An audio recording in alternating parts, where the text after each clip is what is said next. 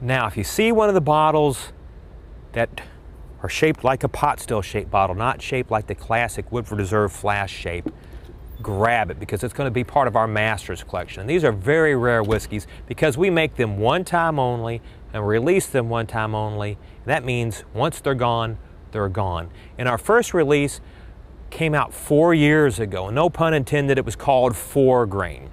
The premise of the Masters collection is to take the five sources of flavor that we use every day to craft Woodford Reserve and change one of the five sources of flavor to make a unique whiskey because we want to stress that if you change something, you're going to change everything. And I mean everything in terms of flavor and aroma. So four grain obviously is self-explanatory. We change the grain recipe. Woodford is made of a corn, rye, and malt recipe. This is corn, rye, wheat, and malt. And by simply changing the proportions of our grain and by adding the wheat, keeping the same yeast, water, distillation, fermentation, maturation processes, we created a totally unique whiskey which is four grain.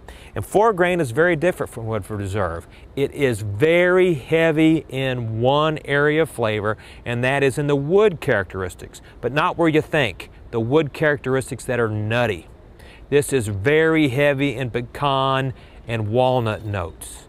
And then it swings around to sweet aromatics, and the maple syrup caramel notes have become what we would call pecan pie. So that's my best description for the four grain flavor and aroma. It's like a slice of good old southern pecan pie. But once it gets on the palate, it's refreshingly dry. It's not syrupy or too sweet. It's crisp and dry and makes for a great sipping whiskey.